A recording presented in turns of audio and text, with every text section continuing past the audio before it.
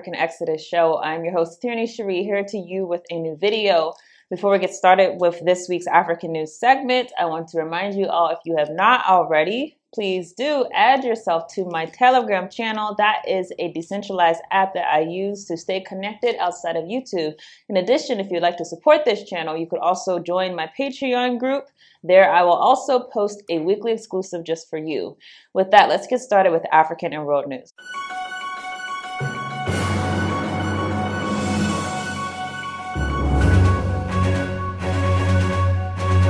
Okay, everyone, please bear with me. Someone is burning a field right next to me, so I have smoke coming my way and I have ash flying in the air at certain moments when the wind blows. But I'm going to try to push this through so I can get this out to all of you. What I want to talk about is what a lot of people have been talking about. Obviously, the Israel Palestine conflict has a lot of people talking. Number one, because we kind of see how the international community lives by a certain set of rules depending on who the person is who's committing mass atrocities. That has led to a lot of people watching this conflict with a different eye because we see Israel, the country, getting away with things that we were told that you can't do, like cutting off food, water, and and fuel to a population or bombing hospitals, bombing churches. So that's getting a lot of attention for that reason. And obviously, a lot of people are being asked to speak on the issue. I want to talk about the aspect that a lot of people have been talking about. Should we be speaking on this issue? Should we be protesting this issue? Should we be a part of this issue?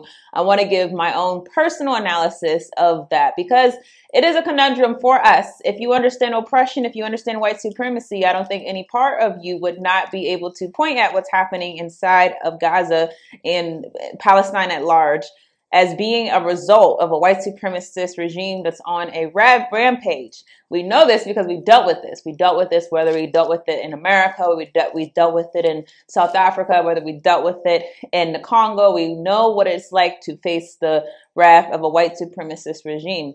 So I understand, first and foremost, a lot of our people are apprehensive to jump on any issue that does not involve our people. And the reason for that, and I think this is very well articulate, articulated by Dr. Umar Johnson, is because when it comes to our issues, there's ghost. No one wants to talk about it.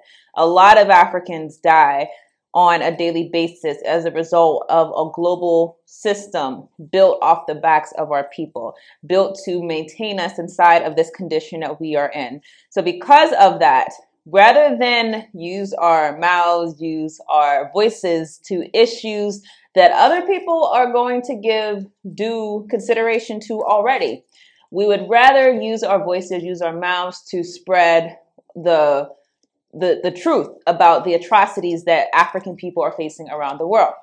So there's that aspect, and 100% agree, 100% understand. There's the other aspect, though, of Palestinians being Arabs and Palestinians being a people who, just like every single other people, have engaged with racist ideology, created racist systems, created racist or uh, or guilty of racist treatment towards Africans. And I will say that from my observation, I don't notice it as rampant as far as stories that have come out about Afro Palestinians as I do from other places in the African experience. So, for example, Libya is a place that is riddled with racism, especially after Muammar Gaddafi was exterminated. Literally, a slave trade is running out of Libya. Saudi Arabia is another place. The UAE, a lot of these Arab countries are guilty of crimes against African people. And we're going to talk a little bit about why that is. You don't hear about that the same from Palestine. And it's not because they are not similarly guilty of having racist animosities or racist feelings. There is racism everywhere we are. So let me say that again. If there is a black person in a certain place, racism exists in that place because it follows us.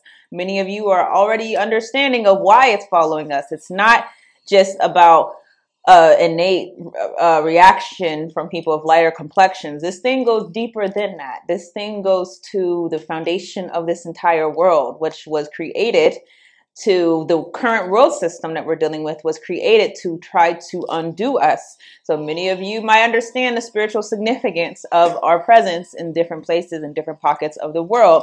Invites hatred, invites envy, invites jealousy, invites um, suspicion, just our presence there. So that's going to be in Palestine. It's going to be in any place, regardless of how oppressed that population is. It's going to be in a place like Cuba. It's going to be in a place like Angola. It's going to be in a place, any place where we are. There are always going to be people who are going to act in accordance with racism because, again, we invite a certain type of of hatred just because of who we are.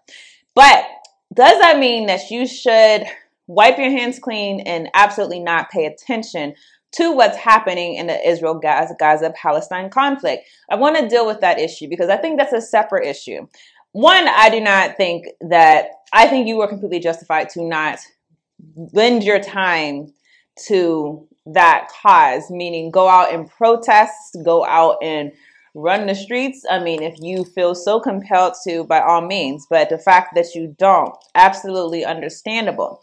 However, if asked what you feel about what is happening, I absolutely do think it is on you to speak the truth. Even if it is involving a people who have similarly discriminated against some of your people, similarly discriminated against you. It's not sufficient enough if someone asks you if Israel's getting away with genocide for you simply to wipe your hands and say that that's not my people, I don't have an opinion. And the reason why it's not sufficient enough is because if you understand what Israel is and its foundation, you are the antithesis of Israel the reason they can get away with things that involve mass atrocities that again anyone else would think it would be illegal. The reason that they can get away with that is because of their animosity that has been built against you. And we're talking about the state of israel. You are the antithesis, antithesis of them. You are the natural enemy. You are the one who they were created to undo. Don't get confused about the palestinians. Don't get confused about what they do in, to other communities throughout the world. The real aim at this thing is you. So, when the scriptures tell us, speak up for the oppressed. If you see oppression and you're asked about it, speak the truth. Don't let what someone else does or does not do deter you from speaking the truth, especially because obviously there are Palestinians who have shown solidarity with the African struggle historically. Although there are racist Palestinians, there is a history of people showing solidarity with our struggle. Although I completely agree, don't you ever get confused enough to act out of your self interest when your interest is when your people's interest is at stake because there is a way that you have to move throughout this world understanding that solidarity does not mean compromising the health and wealth of the community that is around you. So we have to understand Israel, what the state of Israel is, what it represents. Why is it being allowed to get away with these things? Why is it being allowed to butcher innocent people? And if you're so hung up on, I don't want to talk about anything, it's less, it's my people, you're, li- you're missing an opportunity to be one of the lone voices because not a lot of people are speaking the truth. You're missing an opportunity to speak truth on an issue that does involve you, whether or not you know it. And I've said in previous videos, we have to understand Israel has a history of being against our people, even when you would think it would not.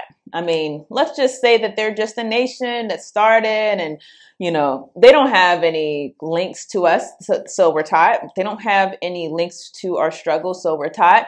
Well, why is it that this people just want out of their way in order to be involved with areas of oppression where our people were the ones who were on the auction block, when our people were the ones who were facing apartheid. Why did Israel go out of its way uh, when you consider all the nations of this world? Why would a nation that supposedly was founded for the purpose of protecting a people go out of its way to support racist South Africa or go out of its way to support the transatlantic slave trade. When you're talking about this, why would a people who supposedly have ran from this same type of discrimination, why would they go out of their way? There's a reason why, is what I'm trying to get you to see. So if you're not speaking truth about any situation, no matter who's involved, especially one like this, where the people who are doing what they're doing are able to do so because they they are your natural enemies. When you understand this, you will have no qualms about calling good good and evil evil. And that's really what it's about. But I want to bring the point more close to home for you all. I want you to understand there are Afro Palestinians, um, even though many of them face racism from people who they encounter in their communities. Those people face a different level of racism, systemic racism, which feels different than individual racism from being located inside of a destination, a country that is occupied by the Israeli regime. So we're going to read from this article Afro Palestinians face double harassment and double the racism. Now, this is about a young sister. She is a journalist and she's just going to give her perspective. One thing that she says the hardest part was when I started hating everything about myself because I was being pointed at and attacked verbally by both Palestinians and Jews everywhere I went, she told me. We face double the harassment and double the racism for being Palestinian and for being black.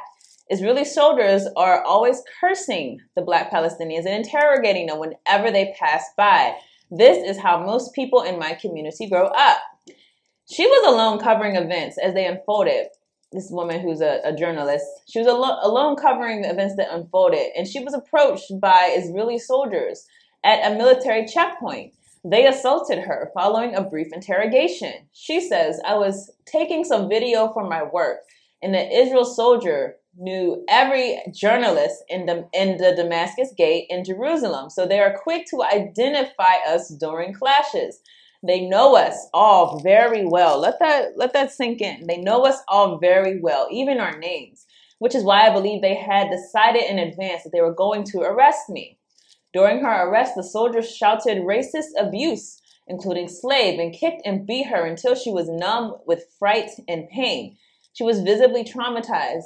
She explained how they kicked her. She said, Many of the soldiers were standing over me, and I was in shock. I froze because I didn't know what to do. During the investigation, they accused me of kicking the soldier, even though that didn't happen. Then they wanted to know who I was working for and accused me of again, sending photos and playing political games. So here, obviously, you can see why it is the case. Many people have spoken about the police departments in the United States. Another way that you are involved with Israel, whether or not you know it. The police departments in the United States, the spy agencies throughout the world, wherever you are in the African experience, the spy agencies all of these things, many of these things come from the Israeli regime. Um, the training that the police receive in the United States, many of which go back to the Israeli regime. So when you hear this sister being treated like this, this is not different than many of us have been treated in different places throughout the African experience. So she says some of her earliest memories growing up in Palestine uh, included racism from both Palestinians and Israelis. Playing outside as a child, she said, children would point at her and ask why her skin is so dark. She's black because of the sun, her mother would explain, or she's black because God put her in a very hot place. This had a negative impact on her self confidence. It wasn't until I started reading books and learning about the history of Afro Palestinians that I started to gain confidence and learned to love myself and my culture. Over the years, though, she had noticed a change of attitudes towards Afro Palestinians. There's more tolerance and less racism. Things are slowly changing. In the past, many Palestinians didn't like to marry from our community just because we were black. They have this image stuck in their head of black people are slaves. Even our braids mean slavery to them, and so our people used to try to change their hair. Now, why do they have this cemented image of us being their slaves? Because if you understand the history of the Arab slave trade, which I encourage you all to study, I think we'll be doing some deep studies on that in the future. The Arab slave trade ran just as deep as the transatlantic slave trade. In some ways, people opine that the Arab slave trade was worse than the transatlantic slave trade. And I'm talking about the Arab slave trade, trade that preceded the transatlantic slave trade, not the one that's happening right now, which is also very detestable if you look at what's happening out of Libya. So the Arab slave trade is why a lot of African people you can find in different places in Arabian countries, even though they might not have the direct ties to the African continent, because millions of Africans were sold specifically from East Africa. We'll talk about that later. Uh, millions of Africans were sold by slavers who would um, castrate the men, who would have the woman be concubines. This was the norm to them. So she's dealing with that legacy. And that's why I say anytime that you're going to be anywhere in the world, you're going to be dealing with the legacy of what has happened before. In the case of our people who might be located in Arabian countries, yes, you're going to be dealing with the fact that these people, many of these people were involved in the slave trade. Whenever you're inside of the, the European countries, again, many involved in the slave trade, many involved in colonialism. So these things pass on over time, they don't get erased.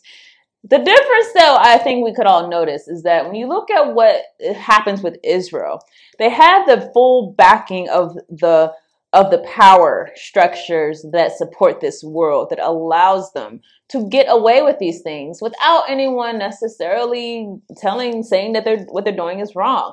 How many of these stories have we heard as opposed to the many stories that we've been able to hear of police brutality in other instances? Why is it that the israeli police brutality that there is really system of white supremacy is kept quiet inside of the international sphere?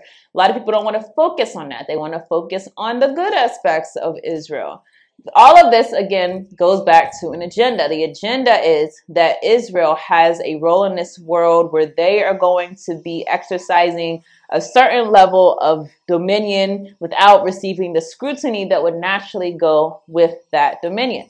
So, I want to talk again about another way that you can see that this issue does involve us. We're going to talk about something that uh, recently happened with Elon Musk. So this is where it really ties in because I want you to understand what Israel is fighting for. They're not just fighting for the right to have the Palestinian territory. They're fighting for the right to determine the discourse about what has happened to us inside of this world. That's what they're fighting for. They wanted to, to control our discourse. They want to have a tight grip on all people who stand opposed to their interests, and especially our people. And you get to see so just from what happened this past week with Elon Musk. So Musk's X suspends people who are advocating genocide, okay, decolonization, or the specific phrase from the river to the sea. This phrase, if you don't know, has been used by Palestinians in the resistance movement, saying a free Palestine from the river to the sea. Well, all three of these phases have been flagged on Twitter. Elon Musk, the billionaire tech entrepreneur who owns X, formerly Twitter, posted on the social media network on November 17th. At the risk of stating the obvious, anyone advocating the genocide of any group will be suspended from this platform. Well, there's nothing wrong with that in trying to to advocate genocide i think no one would want to advocate genocide. No one would want to support anyone who would advocate genocide. Well let me rephrase that. Mo, no decent person would want to advocate genocide right? So that's what we would think. But then it goes further. It says also on friday musk wrote that decolonization the term decolonization or from the rivers to the sea, and similar euphemisms necessarily imply genocide. They call for extreme violence against our terms and services and will result in suspicion. Now, this is completely different. Anyone who's been following this channel for a while, you know, uh, about a year and a half ago, I pushed and um, organized a conference on the issue of decolonization. And the reason was because African Africans have all been colonized in one way or the other, whether you're facing colon, colonization in the outward sense, whether you're facing colonization from uh, the the traditional, you know, colonizer state that is directly extracting resources from the people who have no sovereignty, that colonization or neo-colonization, neo-colonialism this is something that all of us face inside of one way or the other. So I just did a whole conference on the issue of decolonization through a number with a number of organizations. But that would not be able to fly as far as pushing that on Twitter anymore because they said decolonization as a phrase has been banned. Why is it that And by the way, let's put some more context on this before we go and talk more. It says the post garnered praise from Jonathan Greenblatt, the CEO and director of the Anti Defamation League. That group again, yes. This is an important and welcome move by Elon Musk, Greenblatt wrote. I appreciate the leadership in fighting hate. That was important context to give you. So all this happens because the ADL, ADL obviously Zionist organization, obviously a a spy organization, a powerful organization that wields uncanny influence over many people, famous people, activists, all controlled by the singular group. But this is important context. So Elon Musk meets with Jonathan Greenblatt and comes away saying that, okay, decolonization is going to be banned. Now, I'm sure that Mr. Greenblatt should know that the only, Israel is not the only country that has committed colonialism. I'm glad he recognizes that what they've done is colonialism, by the way. But I'm happy. Uh, I'm I'm I'm shocked he doesn't want to point out the fact that well, what's happening in Israel that is definitely settler colonialism, but what about all of the millions and millions of people who have also been colonized? What about all the countries of Africa, except for Ethiopia, which you can say has been colonized in other ways, but they have not. Um, all the other countries in Africa, they have had colonialism. Why is the ADL trying to ban the phrase colonialism? What about neo-colonialism? What about the people who were transported throughout the transatlantic slave trade? What about the Caribbean islands? What about all of the world that exists outside of Israel and Palestine that has faced the the violent the violent system of colonialism? What about all of those people? Why are they borrowing this phrase if this is only about trying to present, prevent genocide? Which is so funny. I want to read from another article that talks about how decolonization is being rebranded as calling for something evil. So, why is the ADL doing this? Why would Israel be supporting this? Because they have an ultimate purpose to all of this. There's a reason why Israel always stands against with our oppressors, always stands against our sovereignty, has a repeated history of standing with imperialism. It's a clear history, and that history has to do with the fact that they have identified, before we can even identify ourselves, that they are in direct conflict. Our destinies are in direct conflict with one another. And the day that we get free from this system is the day of their undoing. So it's not a mistake that they wanted to ban the talk of decolonization or to ban the word decolonization. That wasn't a mistake.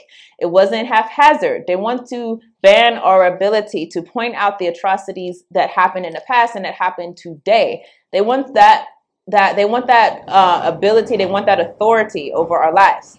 So I want to read through this other article. It's going to talk more about decolonization, why decolonization is being branded as genocidal. And that's really the probably the biggest thing to understand about what they're trying to do controlling speech. Decolonization, the word that it has a long history. I mean, we're going to forget about the history of decolonization of the of the 60s, 70s, and Southern African continent, and now we're going to act like decolonization as a movement is something that's starting today. Well, decolonization is now being branded as genocidal by Israel, the ADL, all these people who again want to control our ability to loosen the shackles of colonialism. This is an article that was written and says decolonization is about is not about healing, it's about retribution. Hmm. So it says it's time for Western culture to dump the decolonization movement. Many people reading this statement will be wondering what the decolonization movement is. Others will be wondering why there is a column railing against reconciliation. Let's deal with reconciliation first. The decolonization movement, which has ha- has captured many of our elite institutions, from government bureaucracies to universities to school boards has nothing to do with reconciliation. And I possibly will agree with some of, some of that. In fact, the decolonization movement, which is deeply rooted in retribution, is the opposite of reconciliation, which seeks to bring people together. Since Hamas launched its brutal terror attack on Israel on October 7th, we have seen a discussion boil up to issues of settler colonialism and decolonization. We saw this in the letters from various student groups in the wake of the attacks as they defended the atrocity of Hamas by using this language. This is decolonization and land back actualized as we continue to see the Palestinian people stand firm in their resistance against oppression. A collection of students at York University in Toronto wrote in the immediate aftermath. Let's just pause right here. So she says something very important. She says decolonization is not about reconciliation. That's somewhat true because the way that people have wanted to talk about any type of decolonization up until this date is one where we can be friends and we can reconcile, but it's not a reconcile as far as giving my stuff back. So that is reconciliation in the mind of the colonizer. That's how the international system believes they reconcile with us, not by truly enacting justice not by truly uh, trying to repair what they've done, and certainly not by giving you power, giving you back which they took. That's not how they operate. The way that they operate is they want you to think that you are their friend while they continue to exploit you. Because if you think that they're your friend, if you think that they are good and well meaning, then you won't look at the evil that they do. You won't look at the actions that they do that tell you that they're not well meaning and put the dots together that these are the same people. They haven't changed at all. These are the same exact people who enacted apartheid. These are the same exact people who started the transatlantic slave trade. These are the same exact people who started the Arab slave trade. These are the same exact people who have oppressed us from beginning to end. This is the same exact people. They don't want you to know that that to know that they know that they're the same exact people. So for that reason, they're willing to reconcile with you so that they can give you the image that you don't need to fight for anything, you don't need to separate, you don't need to do for yourself. You can be in our system and you could be happy, but you won't get back what we took from you. So in that in that instance, she's technically correct because if what she's thinking is reconciliation is something like the Truth and Reconciliation Commission in South Africa, which is important to recognize was a farce, was a way to try to tame the anger, the rightfully felt anger, the the um, people who wanted to lash out back at the apartheid system, a way to try to tame those people. That's all it was about. A way to try to protect the white population of South Africa. That's all it was about. If you're trying to do something to to prevent that from happening, then you're going to create something of a reconciliation that happens to end with you ending out on top and the person who you deprived, the person who you inflicted violence on, and still continuing to be on the bottom. So she's not technically wrong in that instance, but it goes on to say there is no doubt that colonialism, this is what they always say, trying to play both sides. We know that what we did was wrong, but it wasn't that bad. She says there is no doubt that colonialism has inflicted a lot of pain on many parts of the world. No, not just pain, um, death, um, murder, um, rapes, not just pain. Um, still today, you have people who can't even afford to put food on their table because of what's been taken from them. Not just pain, it goes beyond pain, it goes to the very ability to survive. That's what it did to us. But it says there's no doubt that as colonialism has inflicted a lot of pain on many parts of the world, on many peoples, on many families, mine included. But that doesn't mean brutal violence is the answer. The once academic theory of decolonization is now being realized in calls for violence and claims that end that the ends justify the means. Now, it's a theory now, decolonization, the idea that what has been done to you can be undone. It's just a theory to them. And, you know, realistically, it is a theory because to date, there has not been one country, let me rephrase that, there's not been one African led country. You can say that a country like America might have accomplished that against the British, but there's not been one African country. There's not been one country of people who were colonized by the Europeans that have actually obtained true decolonization because all of them still have to submit to this world system. And in the case of african countries they literally have they literally have economies that are set up to still benefit the same parties that were benefiting before the so-called decolonization. So decolonization is kind of a theory. It's not something that's been realized. Can it be realized? That's a whole other question It's a similar message to what Ben Shapiro, the American commentator, told me on a recent episode of Full Comment podcast. By the way, you know, I should have said this before. This article was written by um, Brian Lilly. I thought it was actually a woman. Brian Lilly wrote this article. So it says um, it's a similar message that Ben Shapiro, the American commentator, told me on a recent episode of Full Comment podcast. Shapiro laid out how the decolonization movement came out of Marxism, spread upwards through academia, then right back to your kids or grandkids' third grade class.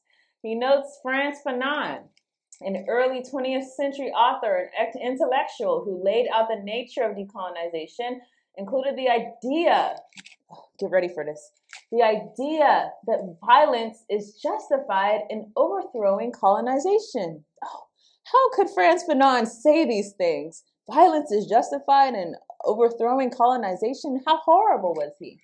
He literally says it's violence is justified. Not only is violence justified, violence is necessary. This is how the colonized man cleanses his soul of having been colonized how he becomes the new man, Shapiro said of Fanon.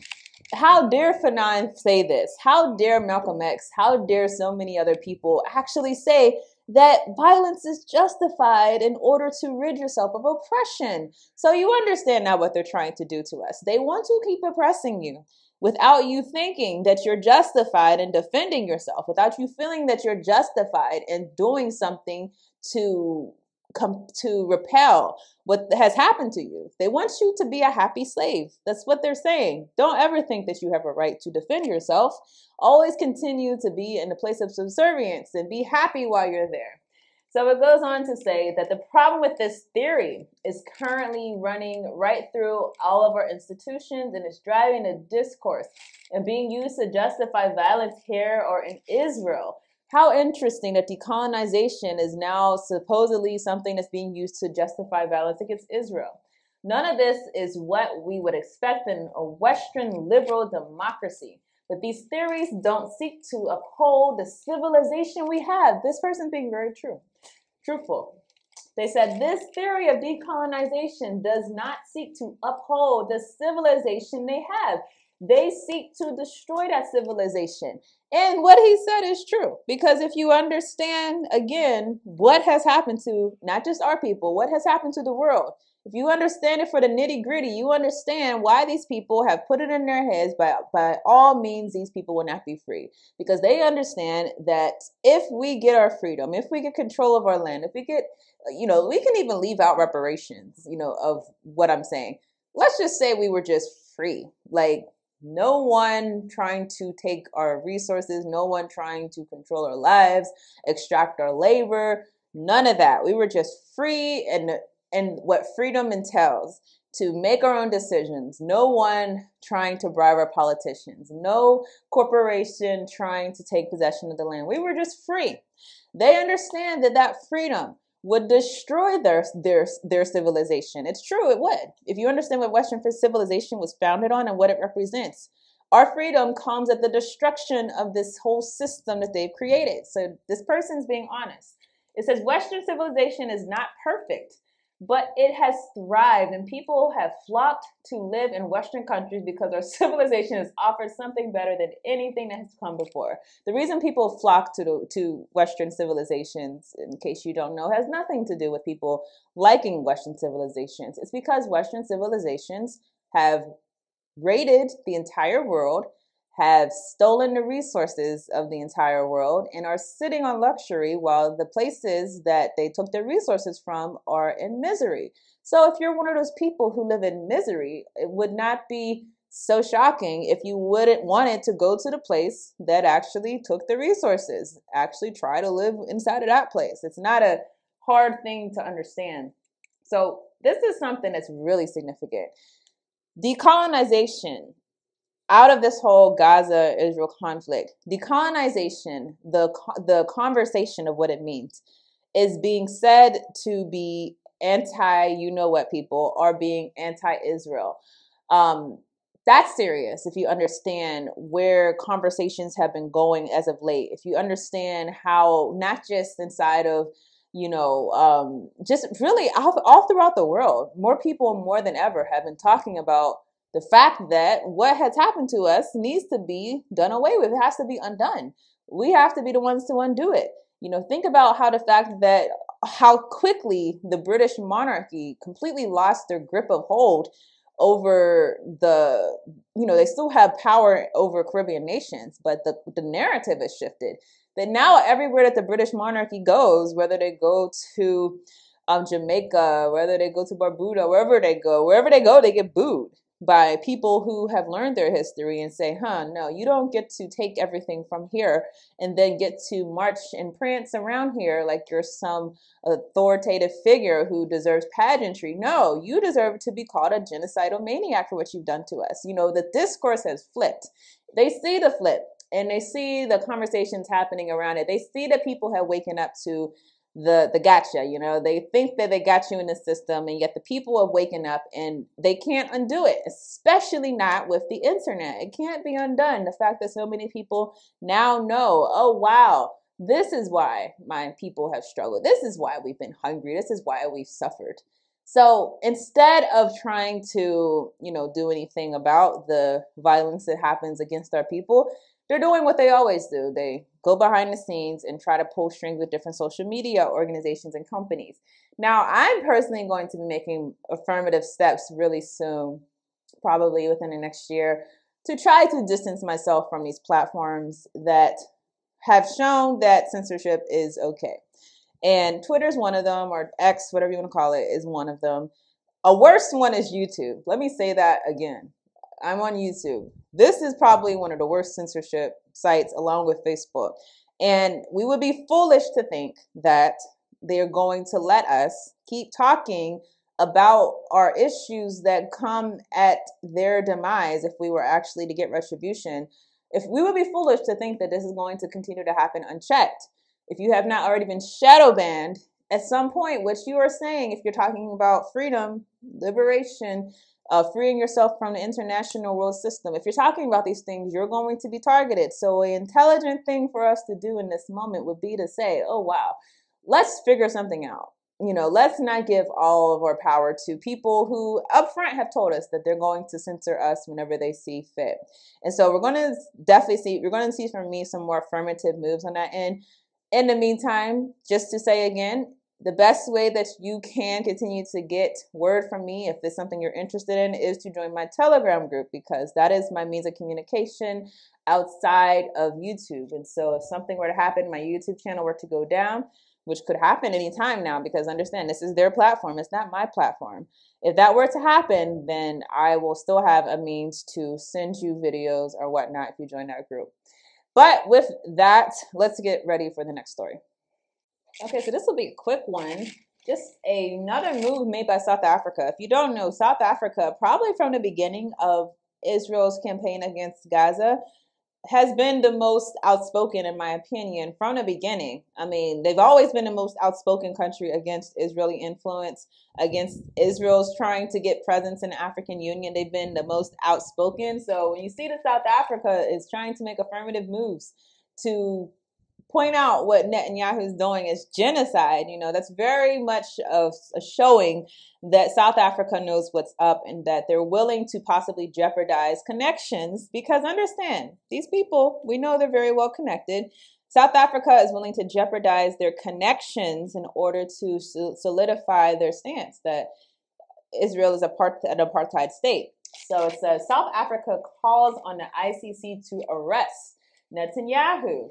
The South African government on Monday called on the International Criminal Court to issue an arrest warrant for Israeli Prime Minister Benjamin Netanyahu by mid December. Minister in the presidency, uh, Khumbudzo Ntshavheni, said it would signal a total failure of global governance if the ICC does not do so. This is the same ICC that put a warrant out for Vladimir Putin's arrest, if you don't don't recall. And South Africa was hit with all types of name calling from Western nations because they said we're not going to arrest Putin if he comes to South Africa. America, you know, all those Western countries that say they stand against genocide were calling on South Africa to do the right thing. Meanwhile, here we are in another instance. No, none of these same people are going to correctly say what's happening inside of the Gaza conflict is a genocide or call for Netanyahu to be arrested. But because we know how much authority that these, those people um, yield in this world, it says the world cannot simply stand by and watch. The global community needs to rise to stop this genocide now. Um, Israel says it is defending itself though. And on October 7th, obviously there was an attack. Now it's 1,200 people that were killed, not 1,400. Um, killed by people in Hamas, but South African government has repeatedly described the Israeli campaign in Gaza as a genocide.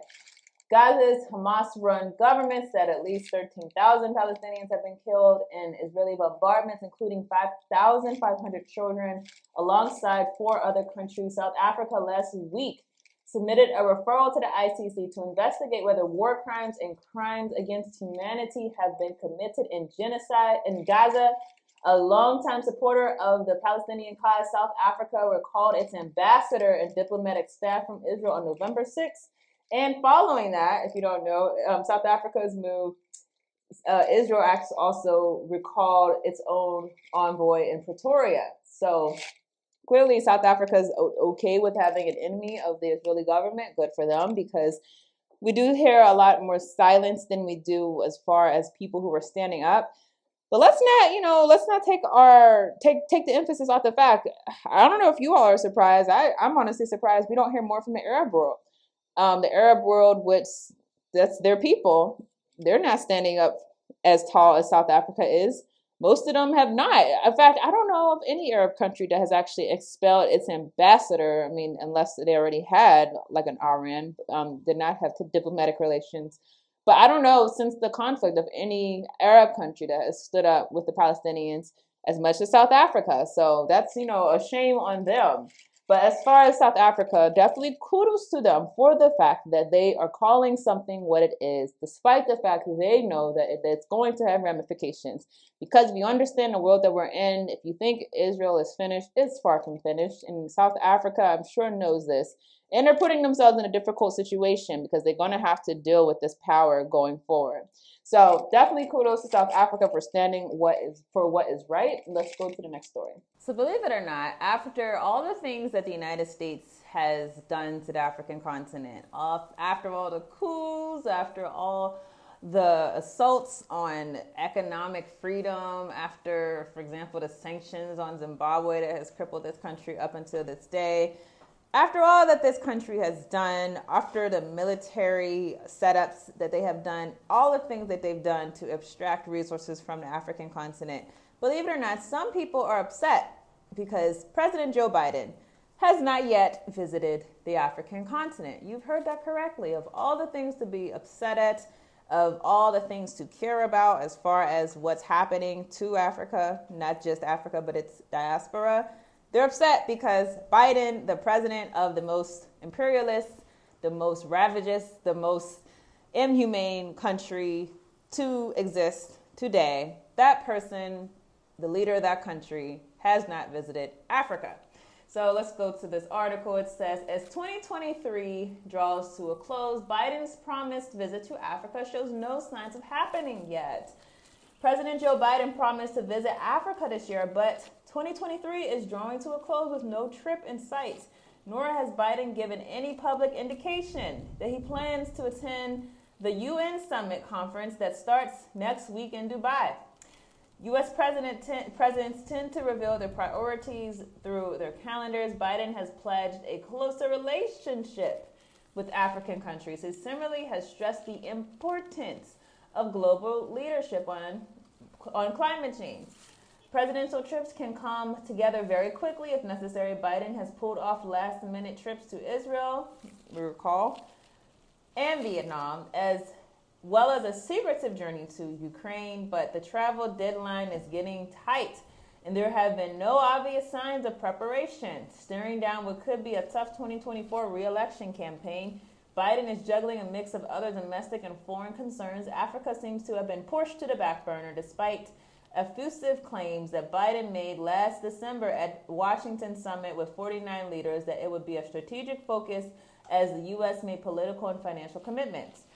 I'm eager to visit your continent, Biden said at the summit almost a year ago. I'm looking forward to seeing many of you in your home countries.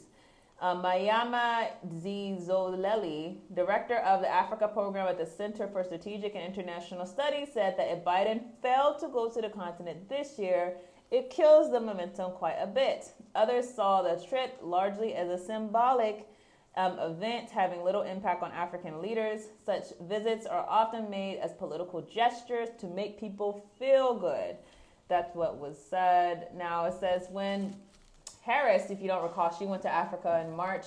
The leaders she met with often emphasized the importance of follow up visits from Biden. President Nana Akufo-Addo noted that former President Donald Trump, the Republican frontrunner for 2024, had failed to visit the country, unlike Barack Obama, George W. Bush, and Bill Clinton. He said, "We're hoping that the president, that President Biden, will also be here." To restore the trajectory, Tanzanian President Samia Suluhu Hassan told Harris that her country was excited for a Biden visit. Tanzanians are anxiously awaiting for Mr. Joe Biden visit visit to Tanzania. She said to the U.S. Vice President, "Please kindly re- convey our greetings and our invitation that Tanzania is waiting to host them." So this could just be African leaders, you know, blowing smoke up Joe Biden, but I actually think that some people feel slighted by the fact that the US president has not gone into the African continent for a long time since Trump's beginning of his term. Feel slighted by that because many people enjoy, like they said, making them making them feel good. They enjoy recognition. They even tolerated it from Obama when Obama came to lecture African countries about their their human rights record, came to lecture them about their stances against LGBT issues. They even welcomed that because, hey, they'd rather be close to their oppressor than far. So when things like this happen, when statements come out, that should let you know if you did, already did not know where your leaders stand, where Nana Akufo-Addo stands, where Samia Suluhu Hassan has stands as far as how they regard this system, what the system has done to Africa, how the people suffer. That tells you right there where they stand and where their mind frame is.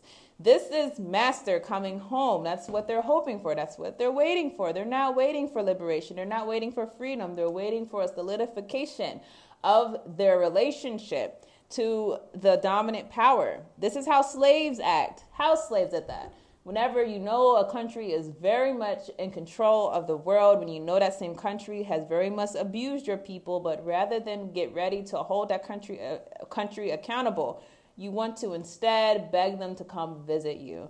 And it's so funny because just um, last week we were talking about Nana Akufo-Addo having a conference for reparations where he was so adamant that oh we're going to start trying to push for reparations guess what who you guess who all of the countries of the world today could make a case for reparations against as far as modern atrocities happening.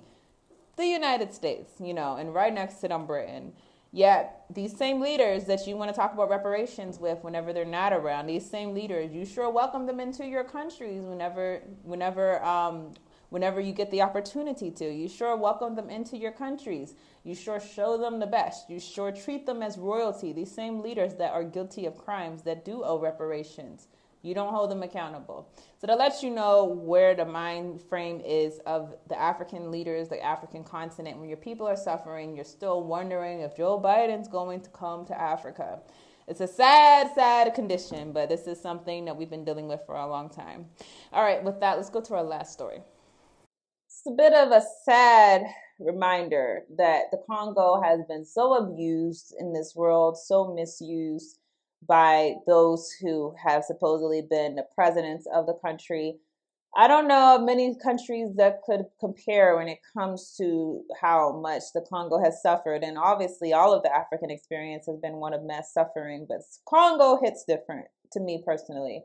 And yet, the UN is going to be leaving the Congo. So, this is something I suppose you would celebrate only if they did not leave the place in shambles. That would be the nice thing. So it says UN peacekeepers to withdraw from the Democratic Republic of the Congo. Congo's foreign minister and head of the United Nations Stabilization Mission in Congo signed agreements on Tuesday to end the presence of UN peacekeepers after more than two decades in the Central African nation. Congolese Foreign Minister Christophe Lutundula told national television that the ceremony marked the end of a collaboration which has proved its limits in a context of permanent war without the longed for peace being restored to Eastern Congo. So let's just pause right there and think about this. They're having a ceremony for the UN peacekeepers that are supposedly leaving, which is odd to me. I don't know if it's odd to you. And they're leaving basically under the pretext that this is a permanent war, meaning Congo has been set up in such a situation that they were perpetually be at war internally. Let that resonate. This is the best they have to offer us whenever we call on Africa to be free. This is the best they have to offer you. Uh, leaving your country in despair, in a state of perpetual war, where people are being killed constantly and resources are constantly being stolen. This is the best they have to offer you.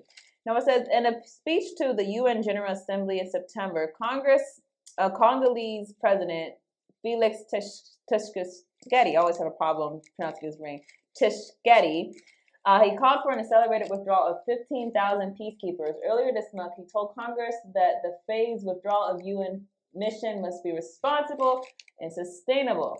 While no firm deadline was announced Tuesday, observers say it's unlikely to accelerate the withdrawal before the current election cycle is completed. Tshisekedi seeks another term in December 20th for a presidential election. Already, the conflict in the country's east has taken center stage. The president launched his campaign with fiery speech accusing neighboring Rwanda of destabilizing Eastern Congo. Eastern Congo has long been overrun by dozens of armed groups seeking a share of the region's gold and other resources.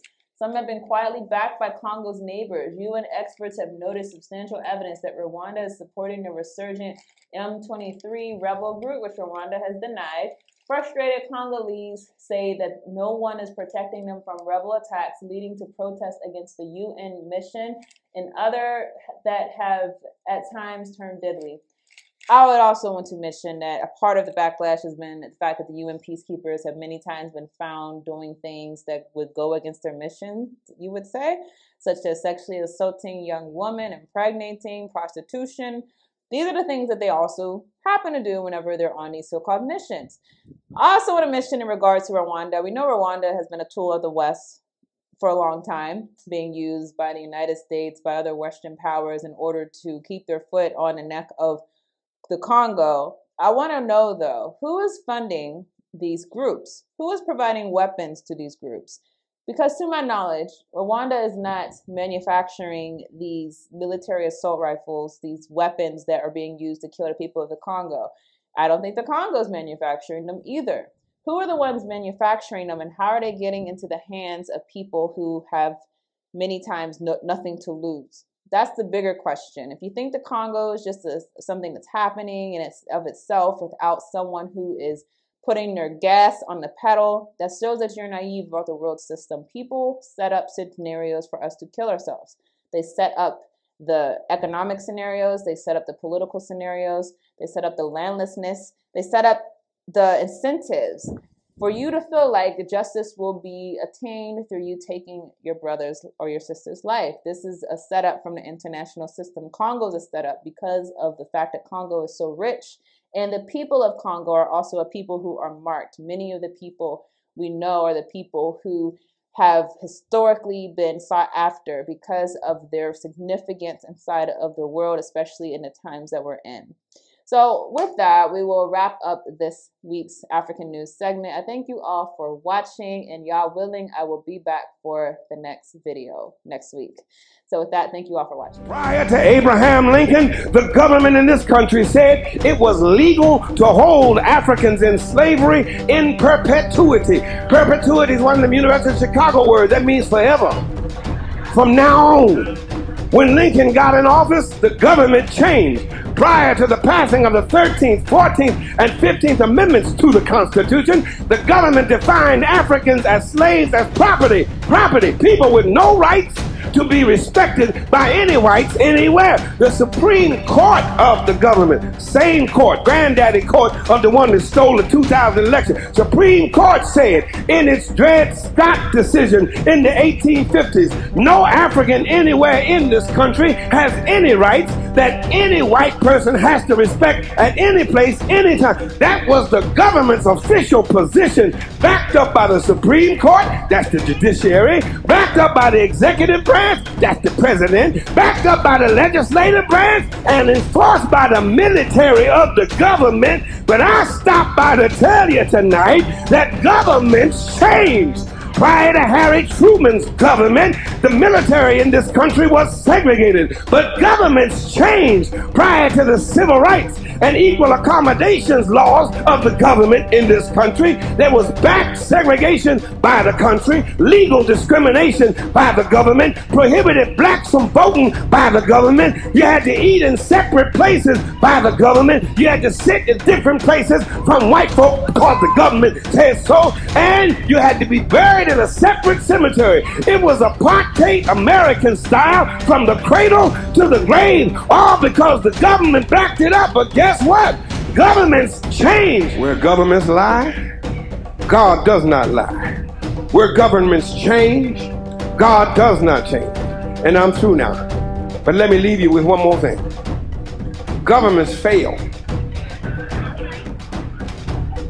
The government in this text, comprised of Caesar, Quirinius, Pontius Pilate, Pontius Pilate, the Roman government failed. The British government used to rule from east to west.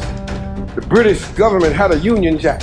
She colonized Kenya, Ghana, Nigeria, Jamaica, Barbados, Trinidad, and Hong Kong. Her navies ruled the seven seas all the way down to the tip of Argentina in the Falklands. But the British government failed. The Russian government failed. The Japanese government failed. The German government failed. And the United States of America government, when it came to treating her citizens of Indian descent fairly, she failed. She put them on reservations. When it came to treating her citizens of Japanese descent fairly, she failed. She put them in internment prison camps. When it came to treating the citizens of African descent fairly, America failed. She put them in chains. The government put them on slave quarters, put them on action auction blocks, put them in cotton fields, put them in inferior schools, put them in substandard housing, put them them in scientific experience, experiments, put them in the lowest paying jobs, put them outside the equal protection of the law, kept them out of their racist bastions of higher education, and locked them into positions of hopelessness and helplessness. The government gives them the drugs, builds bigger prisons, passes a three strike law, and then wants us to sing God Bless America. No, no, no. Not God Bless America. God damn America that's in the Bible for killing innocent people. God damn America for treating us citizens as less than human. God damn America as long as she tries to act like she is God and she is supreme. The United States government has failed the vast majority of her citizens of African descent.